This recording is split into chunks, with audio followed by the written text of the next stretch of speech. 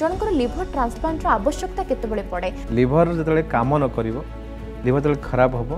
ଆଉ ତାକୁ ଆମେ ମେଡ଼ିସିନ ମାଧ୍ୟମରେ ସେ ପୁରୁଣା ଷ୍ଟେଜକୁ ନ ଆଣିପାରୁଛେ ତ ସେତେବେଳେ ଲିଭରଟାକୁ ବାହାର କରିବାକୁ ପଡ଼ିବ। ଖାଲି ବାହାର କଲେ ତ ରହିପାରିବନି ତେଣୁ ସେତେବେଳେ ଲିଭରକୁ ଲଗାଇବାକୁ ପଡ଼ିବ। ତେଣୁ ଗୋଟେ ଡ୍ୟାମେଜ୍ ପାର୍ଟକୁ ଯେମିତି ଆମର ବଡ଼ିରୁ ଇଞ୍ଜିନ୍ ଖରାପ ହେଲା ଗୋଟେ ନୂଆ ଇଞ୍ଜିନ୍ ଦେଉଛେ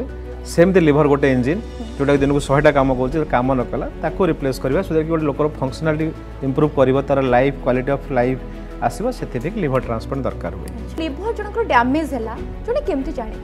লিভর খারাপ হওয়া কোড়িয়ে বর্ষ লাগে ଓକେ তো সেটা যদি হয়ে গেলে আমি সেটাকে লিভরর সিরোসিস বলে গোটে জিনিস কহু লিভর সিরোসিস সেতবে হেলে ফির বি সিরোসিস হেলে বি সিমটমস আসেনি গোটে স্টেজরে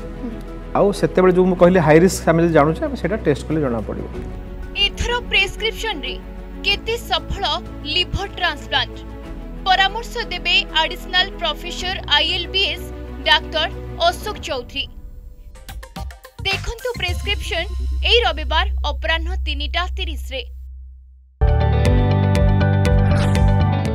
जदि आपंक आम भिडी भल लगा तेब आम चेल्क लाइक सेयार और सब्सक्राइब करने को जमा भी बुलां नहीं